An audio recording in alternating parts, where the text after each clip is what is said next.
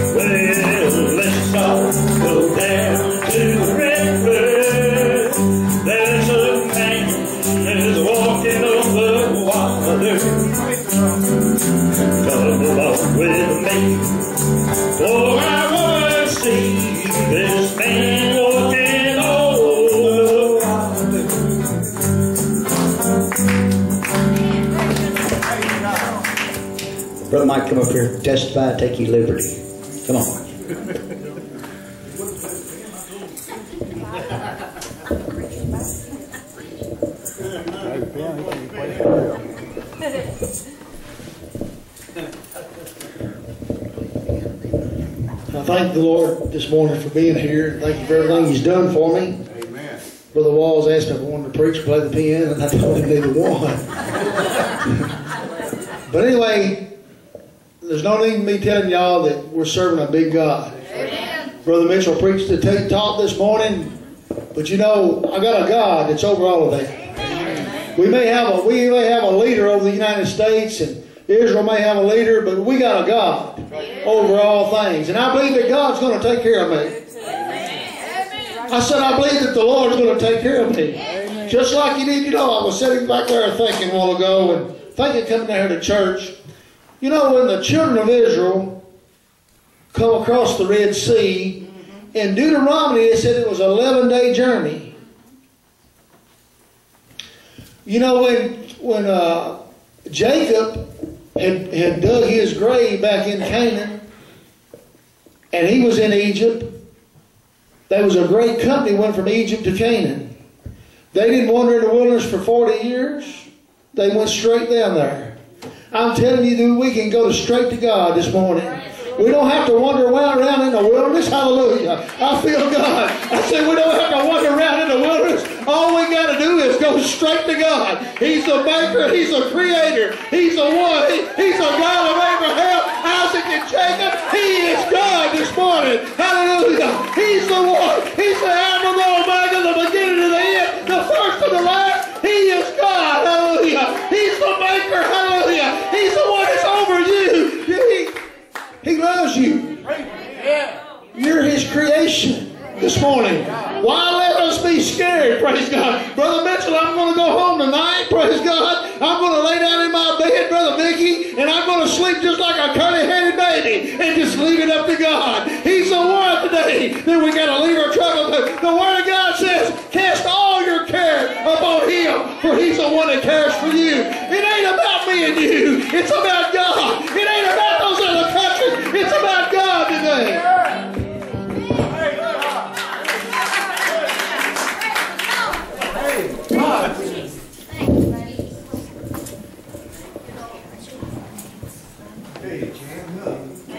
Yeah, he just gets started, and he quits.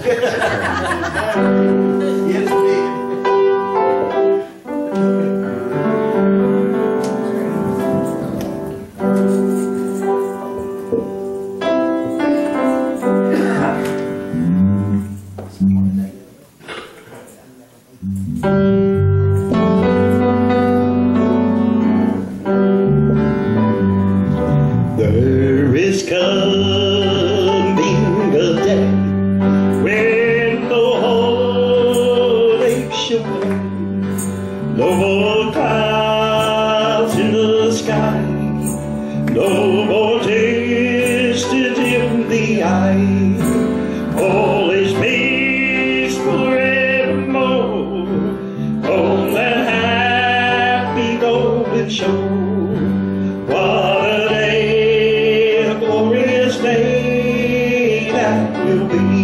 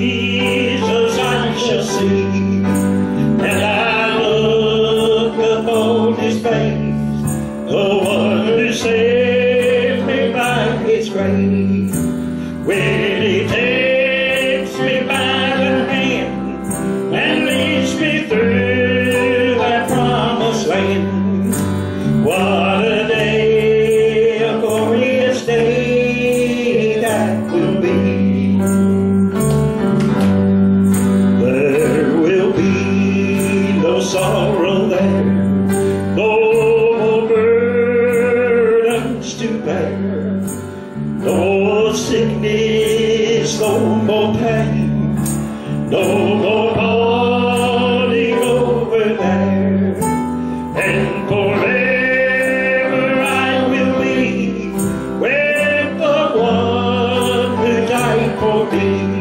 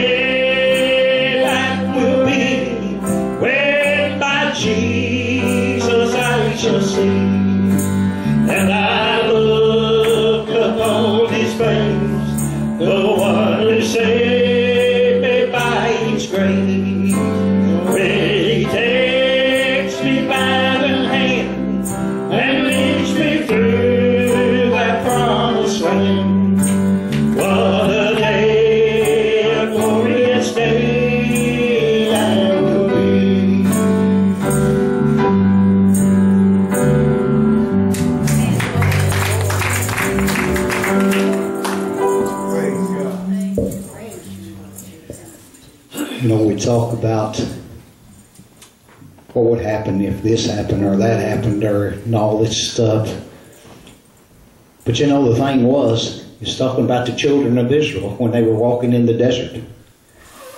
Yeah, they walked around out there because they didn't know the direction. That's the problem that we have with most of our younger people today. If they didn't have their computer, or they didn't have if they didn't have groceries in a box that they could stick in a microwave, they would go hungry. You know the thing about it is, and it gets worse every day. We laughed. Mikey must say we laughed about someone had built an outside John that they had for sale at the auction. We might laugh about that. But the thing being is, most kids would ask, what in the world is that? But if I had to go back, I know what it was for. It's the thing. The biggest problem that we have with this country is we're so spoiled and everything is given to us so much. It's the thing.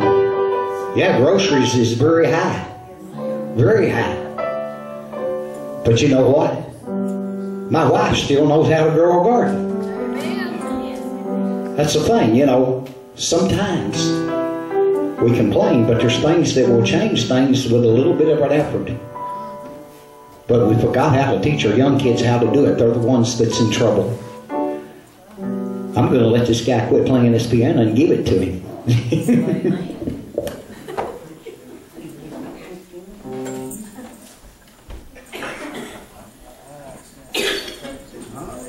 Y'all know why I'm playing the piano this morning? Nobody else would do it. I couldn't get, I couldn't get Brother Mike to play it. Penny says he can't even play a stereo. You know, uh, I want to thank the Lord this morning for those that did come. There were some that had some obligations they needed to, to fulfill this morning, but uh, they'll be back tonight. It, uh, but you know what? I was just thinking about something that I was told this week. Uh, there most most young people have a telephone or they have a thing that they use that's the screen on it. I don't even know what to call them, but some kind of pad. But anyway, this guy was telling me, Brother Walls, I can put in your, I can put your number, your house number in. And I can look at you at home, I can pull you right up and see you sitting right on the porch. Hallelujah. He said, I do it all the time. He said, uh, uh, what do they call them, iPods? Or? Yeah, iPod. iPods, okay. Anyway, I don't know about it, so th- this is the one I got right here. And when it rings, I know how to say, hello. And uh, that's all I know how to do, and I know how to turn it on and turn it off. That's all I know. Now, if it uh, something happens to it, but this guy was telling me, he said, we do it all the time. Said we, uh, even when we're on trips, said uh, we're thousand miles away from home. We can look right at our home, see what's going on. We can even see the dog laying on the porch, the cat. Now you'll see what Brother Walls. I, you know, whenever people were talking about these things, television, all that, when I was a child, I thought that's the stupidest thing I ever heard. Picking up a telephone, talking to somebody, looking at them all at the same time. Why, they ain't no such thing as that. How they going to see me over that telephone line? But it's happening. See, we, we are, the thing that you and I have been talked about is happening. you know, the Bible said that there would become perilous times, which means troublesome times. See, uh, Timothy tells us about this. And uh, when you and I begin to look at where we're at, we're in troublesome times. You know, there will be, is becoming a notable sore. We've heard this all of our life. It's spoke of in the Bible. The automobile is spoke of in the Bible, and all of these things. Zechariah tells about it. But whenever that you try to tell people, look, you need God in your life. We are in the winding up of time. And then they'll say, well, what do I need God in my life? Let me, let me, the Bible said if it hadn't been for the shedding of the blood, we wouldn't have no remission for our sins. Amen. Hallelujah. Think about the blood.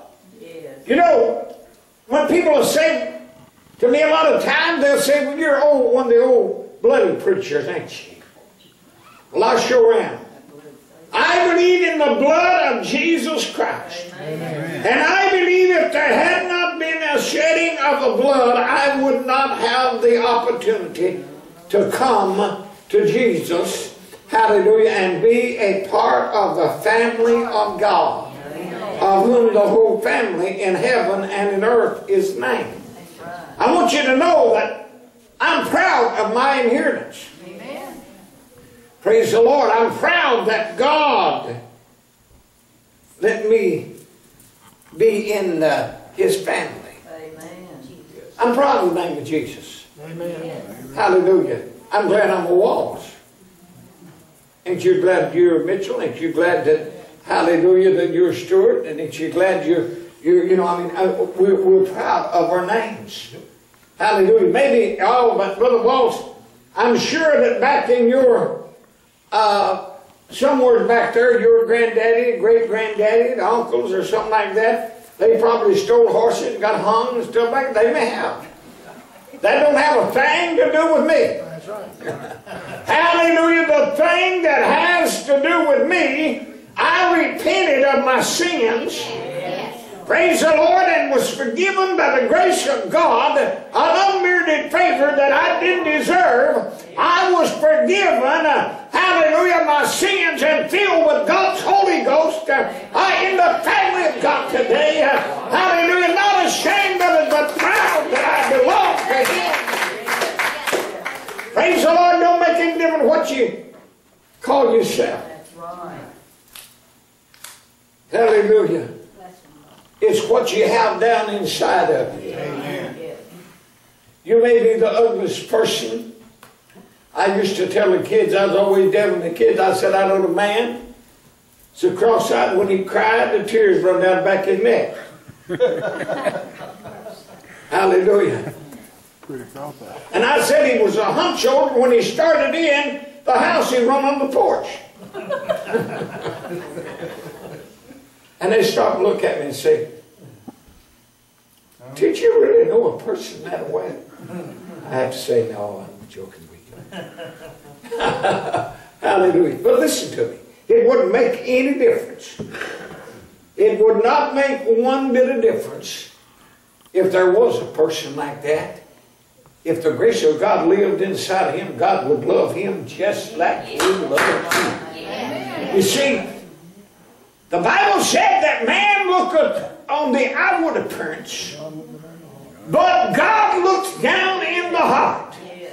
Praise the Lord. And when God looks down in the heart, He takes the sin and washes it away and throws it away and takes it out of our life, and we are no more. Hallelujah. His, uh, I belong to the devil, but we belong to God and we're God's children. And God understands us. Well, I don't understand this one. I don't understand why this does that or somebody else does something else. You see, there's all kinds of people in the world. I know, one time, years ago, I worked at Outwood in the shop over there, and I went on hard in. They, in our orientation, whenever they told us, said, uh, now if you are here and you learn one of these children to pick up a spoon and uh, lay it down, in a year you've done, you've accomplished something. I thought, why ain't nobody that done? Anybody, anybody pick up a spoon and lay it down, but that's not so. That's right. I found out there was those that you didn't never did learn for years of training. They never did learn how to pick up a spoon and to lay it down. Hallelujah. You see, but but they were still still God created Yes. that person. Hallelujah. God loves what He creates. You know what He said? Hallelujah. He said, whenever that He finished everything, He was pleased. Hallelujah. Then when He made man, and then He made woman, then He got dissatisfied. Praise the Lord. All mistake you ever made. Well, that's true. Now, I'm not. I don't mean that smart, but uh, but when he once he once he accomplished man, and and had man in, he gave that man a job to do, and you know what happened? He listened to the woman that God had given him. Now you read this in the third chapter, you know, of Genesis. I ain't going too far into that today because they're all looking at me and. Praise the Lord, I'm married too. But anyway, y'all, y'all listen to what I'm saying.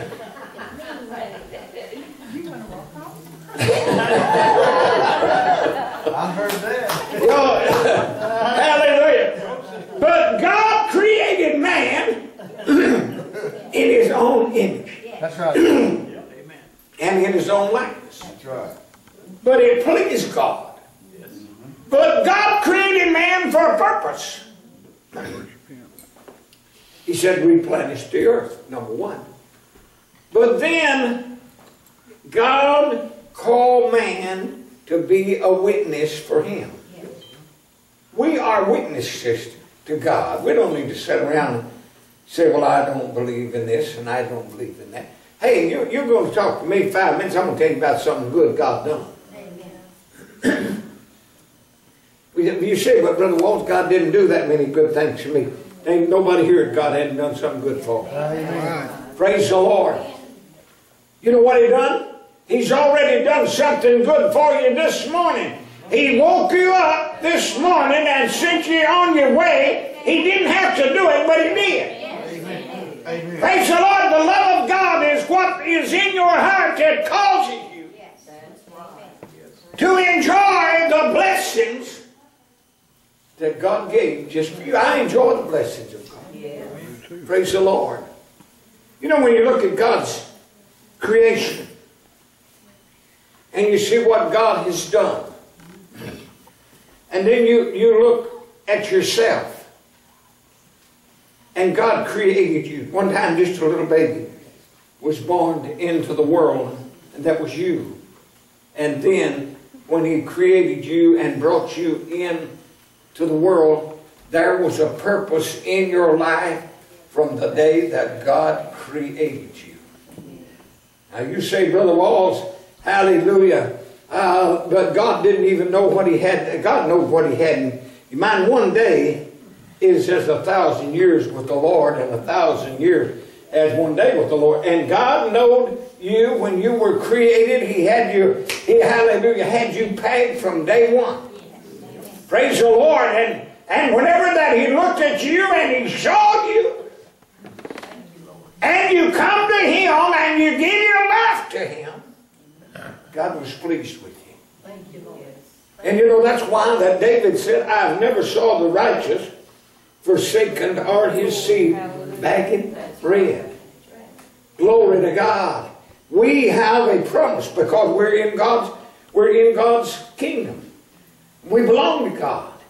Praise the Lord. You know, whenever you when you begin to look around that we was talking uh, uh, Mickey was talking about food and and uh, growing a garden, all them things. The reason that a lot of people don't grow gardening because they don't know how. It's just they don't want to. Work to it. Did you ever think about that? Too much work for it. But I tell you what, I, I, I don't have much of a place to grow a garden, but I done got tomatoes blooming anyway. Hallelujah. And I'm gonna have I'm gonna one of them tomatoes gonna get right one of these days. And I'm gonna stand out in front of the church and eat for all of you. But anyway, praise the Lord. Listen. then now you know what I'm gonna say? Hey, look at this tomato, that's God's creation. I bought it at the IGA. Yeah. Think about it. God loves everyone that's here today. You know what? Now I I, I want to I want to bring this point out. People down their self. Do you ever think about how people they down themselves? They well, I'm no good. I can't. I ain't good to nobody. I'm not good for nobody. Dan, don't you let the devil tell you that. Quit letting the devil tell you that. Hallelujah. You're God's creation. And you're good for God, and you're good for Dan, and you're good for others around you. Hallelujah. You are Mr. Somebody. But Brother Walls, the devil come jump on Brother Mitchell. He jump on me. Anybody he can that does something. Well, you made a mess out of today. Hallelujah. Some of the greatest message I ever preached. Since I've been a preacher, the devil told me you made a mess out of today. And everybody in the house got blessed from it. Hallelujah. Don't let that devil tell you that you're nobody. You are a somebody. You've been redeemed by the blood of the Lamb. Hallelujah. And the word of your testimony. That word that you have, you don't just have just what you say out of your mouth, it's what you back it up with. Praise the Lord. You know, dollars used to be backed up with gold. They used to have to have so much gold to back the dollars up. and uh, then the dollar was worth something. Now then it's uh, back up with pennies anymore. But anyway, hallelujah, coppers or whatever. But listen to what, listen to what I'm saying. It spins anyway. But anyhow, the thing that I want you to think about. Are a somebody, but you owe that's being somebody. You owe that to somebody, and that's God. Praise the Lord. God brought you into this world, created you. You were born, hallelujah, of a woman. But God saw you from the time you come in the world. God knows what He had in your had for you to do. You don't, oh, you don't just automatically fall into this. When I was five years old, my grandmother was an invalid. But she was a Holy Ghost filled woman. Her and my, that's on my mother's side, the Johnson side of the family. And I remember as if it were today, I mean, I was only five years old. I can look back to the time because where, where we lived, while we, we, you know, was I about, I lived there, moved there when I was about five years old. But she said to my brother and I, my brother four years older than I was, and she said, God's going to make a Holy Ghost filled preachers out of you two boys one of these days. And, uh, of course, we went over and, and to hear what she had to say. We was playing around an old fireplace in winter one. She said, God said, both of you are going to speak in tongues just like your granddaddy did that's gone on to be with the Lord. Hallelujah. I never thought much about it, but it stayed with me all my life. And God brought me through car wreck after car wreck, through battles and sin and, you know, everything. And He brought me and one day he stopped and said, Now it's time for you to be somebody. You've been nothing long enough. See, and God took me and saved me and filled me with the Holy Ghost. You see, God has something good in every life that's here. Somewhere you've been a blessing to somebody. And the seed that you have sown, they're going to come up and they're going to grow. Someday God will take a hold of your life. Hallelujah. I want to tell y'all something. Cody, my grandson, making him boy. I'm proud of him for what he does and what he stands for because he loves God. He's, he's, he left his, he left the whole family, and uh, it's hard to think he's gone in Colorado, several hundred miles away, but he's there for one purpose. And you've got to be, you've got to be a preacher, and you've got to have that calling in your own life before you understand it. Hallelujah. Then when you understand it, you say, I've had God send me places, and I say, Lord, I just don't want to go. I want to stay at home. I want to go ahead. Hallelujah. Won't you, God, why don't you let me stay at home? Won't you let me give me a job? Won't you let me work like everybody else? Why don't you, hallelujah, just let me stay at home? But God said, no.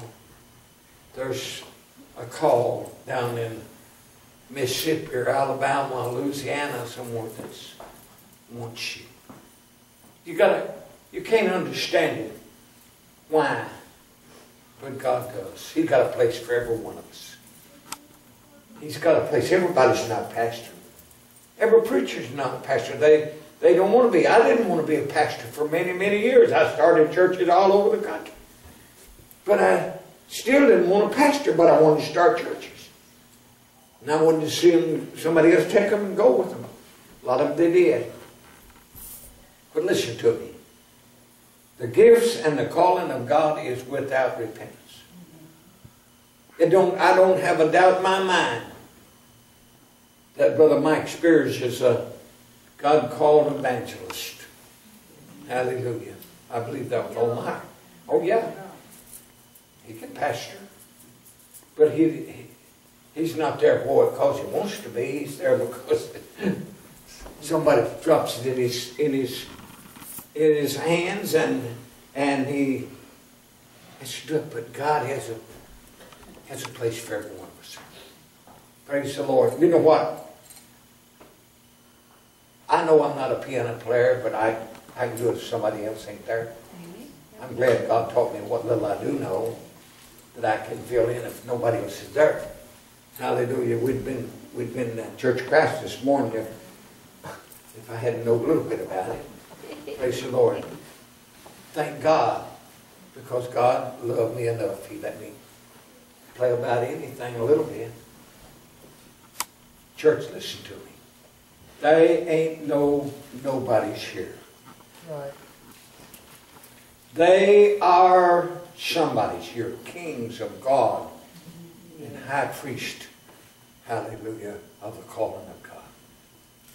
You won't make me think that God called me and made me a nothing, but I believe God called me and made me a something. Amen. And I believe He done the same thing with you. Hallelujah. Geneva, you are somebody. Hallelujah. Surely you're somebody. Don't let the devil tell you you're nobody. You are a somebody. I appreciate it. I'm glad I'm somebody, ain't you? Praise the Lord. What would I be if I wouldn't went on my life like I started out? What, what, what would I, I, I, wouldn't be living today, but because somebody would, wouldn't have put up with my foolishness.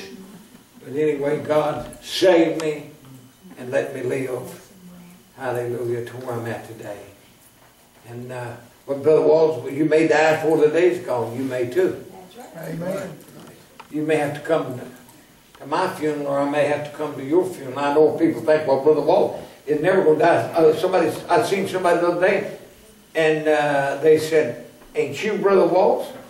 Well, yeah, Brother Walls. I thought you did. I said, I'm more dead than I was 20 years ago. I'm close to the. Well, I thought you did. Somebody told me you died. I said, No, I'm very much alive. Hallelujah. Don't care what they tell. I'm still walking around. How would you? How would you like to? To be? Hallelujah. See, Ed here with Paul Ray Davis one time told a guy that down there worked with him, he said, where's Officer Payne at? He was off sick, and he said, Paul Ray said, didn't you hear? He got killed in a car accident. And they didn't bother to tell me. And he didn't bother to tell Ed. Ed come back to work and goes up and slaps this guy on the back and said, he said the guy turned around, he, he was a black guy, and he turned around and said he turned white. Jumped about ten foot in the air and I got that up here. Wanted to know, what are you doing there? Well, I'm come back to work. But Officer Davis said, you got killed in a car accident. But he said, no, I'm very much alive. That does make you feel funny, don't it? But listen to me. God loves you. Now, everybody quit feeling sorry for yourself. I'm glad, I'm glad Sister Brenda is able to be back here this morning. Bless her heart. She'd been sick.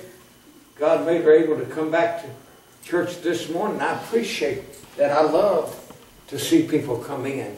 Sister, I tell you what, Sister Geneva, I don't care what they say, you're going to get well.